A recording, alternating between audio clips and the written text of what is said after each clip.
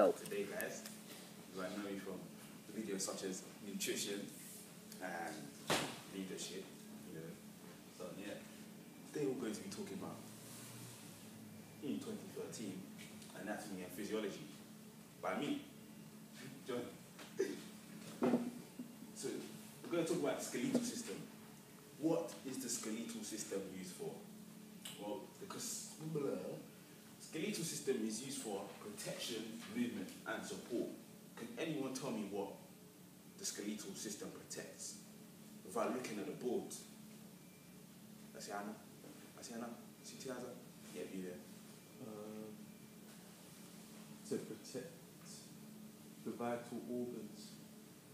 The vital organs. Oh no no no. What's what do you say? What's it there to protect? Yeah, Vital organs. Correct. Vital organs. This prevents them from getting injured in any sort of clash, as well as the cranium, also protecting the brain. You know, the brain, you know, it's two plus two and stuff. So, movement. We're getting on to movement. We have support next after this. So, movement. The skeletal muscles are attached to bones via tendons, not ligaments, tendons. When a muscle contracts, this causes the bone also to move. Support. The skeletal, sorry, the skeleton also provides framework for the body, which keeps our body upright, or otherwise we should be flat on the floor like jelly.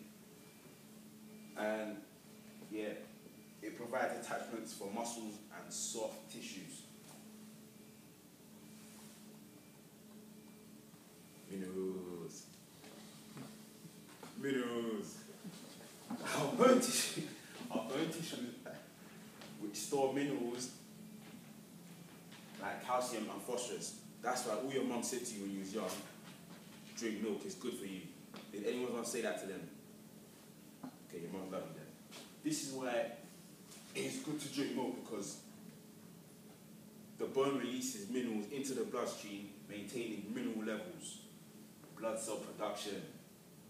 Does anyone know? Actually, I'll hold a second. The bone marrow produces red and white blood cells, which is located in which type of bones? Can anyone tell me? Did I see it up there? No. You. Uh, is it lumbar? Long bones, long bones. So, what is red blood cells good for? Anyone know? What red blood cells are good for? Carrying oxygen. They're also good for respiration in terms of when doing exercise. And they're important for gas exchange within the body. So, what are white blood cells good for?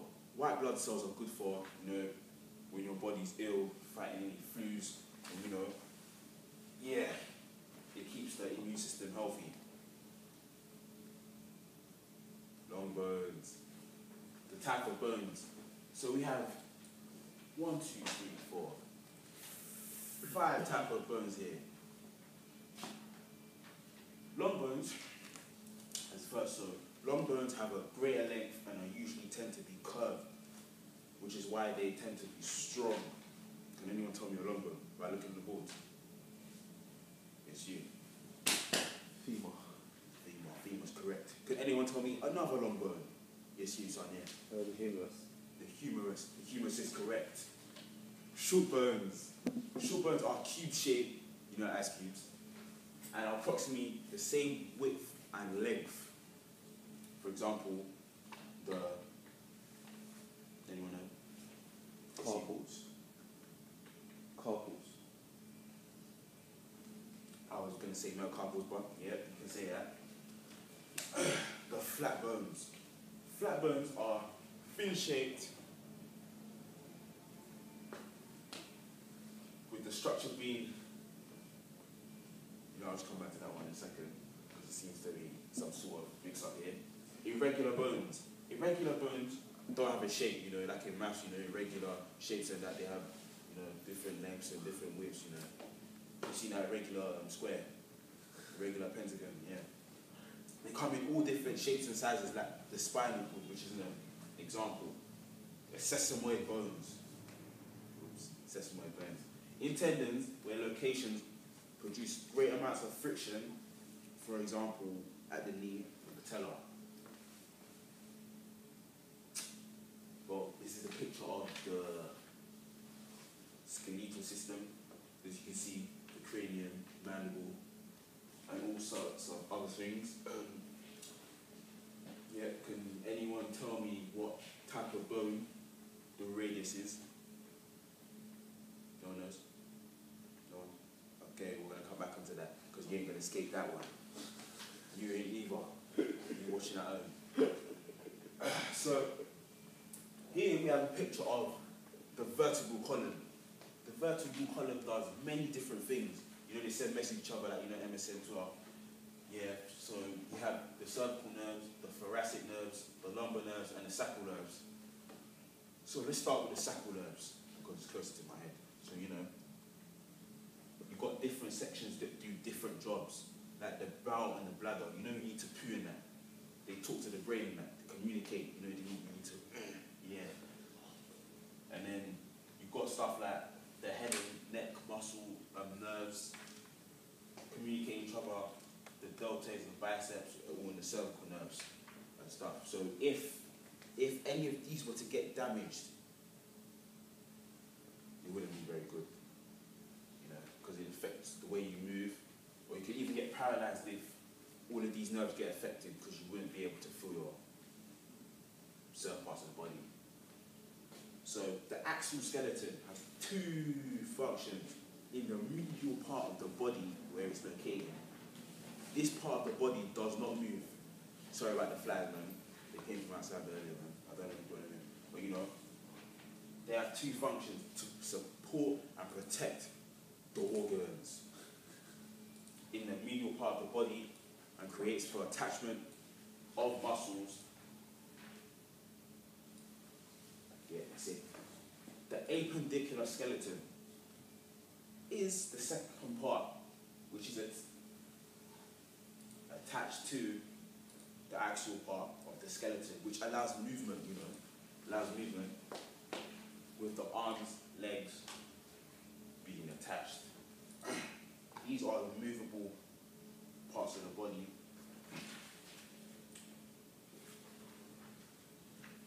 The different types of joints.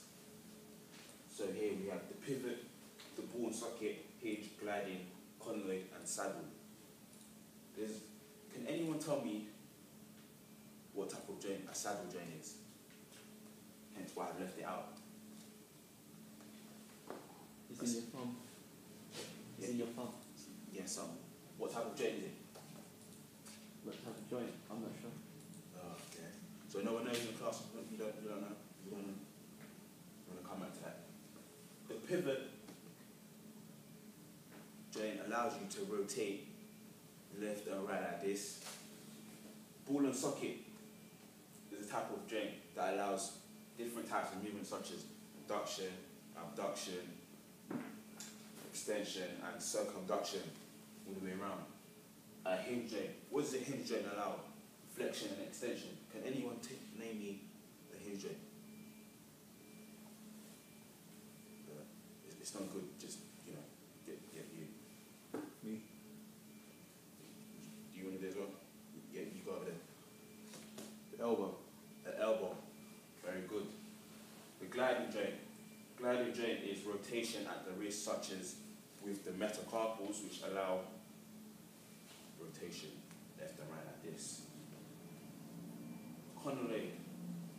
Can anyone name me an example of a conoid, even though it says it up here? Yeah, that's that's correct. That's great. At the finger, which is a type of hinge joint as well. So saddle, saddle, you ain't escaping that. We'll come back to that. Your muscular system.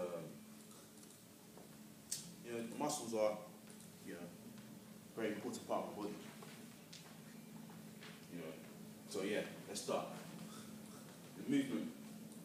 Antagonistic pairs. Does anyone know what an antagonistic pair is. Oh no, you don't. You don't either. Oh, sleep, man. Get up, son. So yeah, um, two pairs, okay, not two pairs, two muscles working in a pair work together to create movement and exert force. An agonist, which is also known as a prime mover, it helps to. Um, so, so we're recording in the classroom. So, no, phones away, phones away, please. Phones away. An agonist, also known as a prime mover, for example, is a bicep, which is being worked as a result of the muscle moving. The antagonist is the opposite muscle, which is relaxing, which allows the muscle to actually stretch itself. The opposite muscle I'm talking about. A fixator.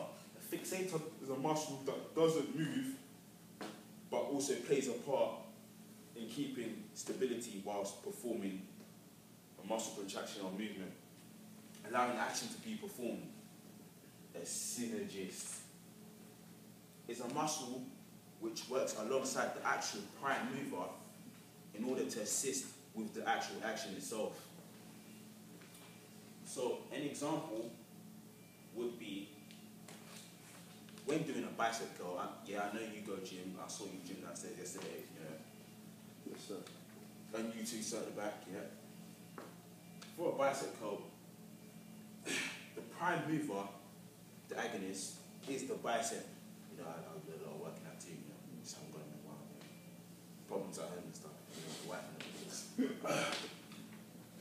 Well, the antagonist is the muscle that is relaxing, allowing, well, the one that's relaxing, stretching, allowing the prime mover to move as a result of working together. And the fixator is the deltoid, which causes, which allows stability whilst performing the action, even though it doesn't really move itself. And the synergist in this one is the brachialis, which is a lot. Okay, where is the brachialis? Can anyone name me where it is? It's right next to the bicep, which allows, which assists in contraction of the bicep curl. If one muscle in an antagonistic pair was to be torn, injured, or sore, the full contraction wouldn't be able to be performed, which wouldn't allow you to train. So it's always good to rest and recover after training and exercise. I know some of you just don't do it at all. You just go gym every day, you know. You just yeah. And it's also important to allow muscles to rest. Yeah, that's what I said.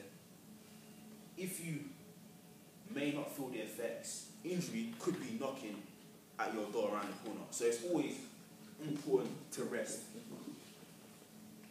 and recover after training. So we'll move on. Types of contraction. Isometric. Has anyone done GCSE PE here? Put your hands up. Uh, oh, anyone? Anyone out of that? 25 people? You- uh, you- Okay. It's a type of strength training where the muscles exert force with no movement. So that's basically, for example, you know, the camera see me? I don't know if you see me. Like this, holding a press up position for as long as you can, with no movement, even though exerting force against the floor. It's getting hot in here. Anyone feel hot in here?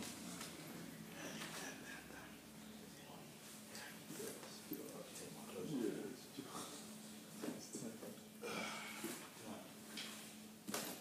Almost dry.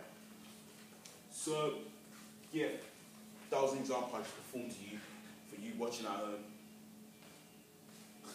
Isokinetic is where the muscles exert force with movement, for example, press ups, but at a consistent rate. So the opposite to isometric. Concentric and eccentric. Anyone know what that is? No one? Not you? No one? Just looking dead today, looking flat. Didn't want to sleep last night.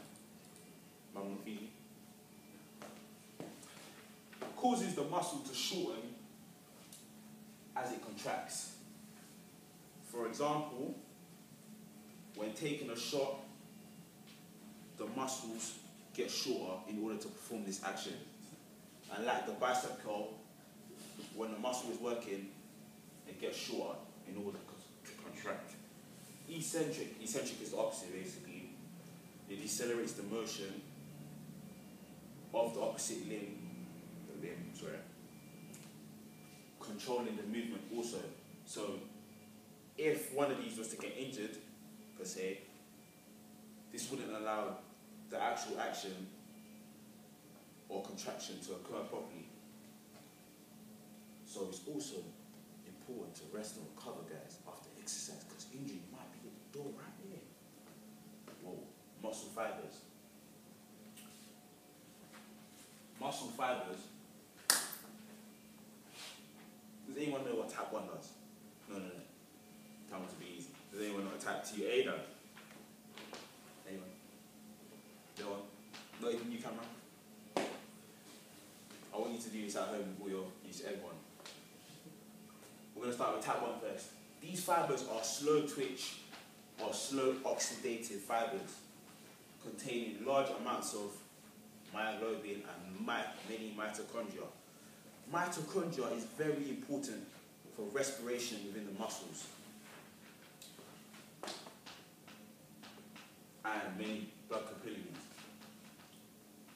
For example, okay, many blood capillaries for gaseous exchange very quickly, which is very important for long distance runners, such as people like Mo Farah. Mo Farah is one who needs a lot of mitochondria for respiration and many blood capillaries for a lot of gaseous exchanges he'd be running from really. Okay, he's a, he's a mid distance runner by the way. Type 2A. These fibers are fast twitch or fast oxidative fibers containing large, ah, large amounts of myoglobin and very many mitochondria and very many blood capillaries. Type 2B. These fibers are kind of the opposite to type 1. They also contain fast twitch or fast glyco- glycotic fibers containing a low content of myoglobin and relatively few mitochondria. So this means what type of sport would this person take part in? Yeah, you. 100 meters. 100 meters. Correct, correct. Because of the fact he has a low amount of mitochondria, which means he wouldn't have enough for respiration. And 100 meters, 200 meters, short distance, short distance races wouldn't need that many amount of mitochondria because it's an aerobic and aerobic type of sporting event with relatively few blood capillaries and large amounts of glycogen for example, found in large muscles. That's why you see a lot of sprinters having larger muscles. For this case, for example, Usain Bolt. So, yeah, that's it really. We're just gonna watch the video on muscle fibers. Yeah, it's just a trick, you know. See my trick, you know.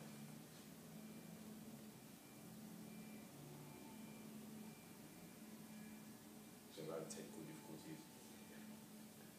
Yeah, these boards are very new and that, so yeah. It's, like my first time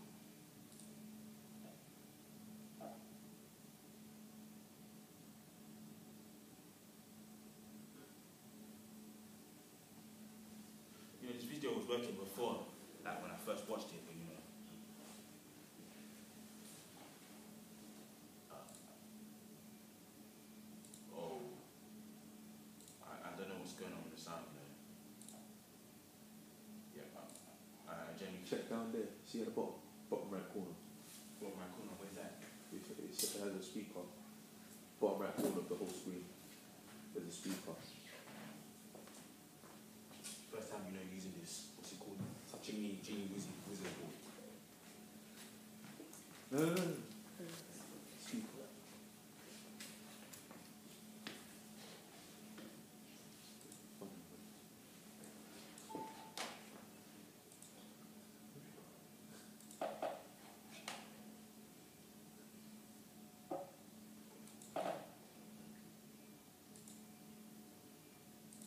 So if it's, if I bring these guys around, I don't think the guys I'm talking to. Um, just imagine we've watched it and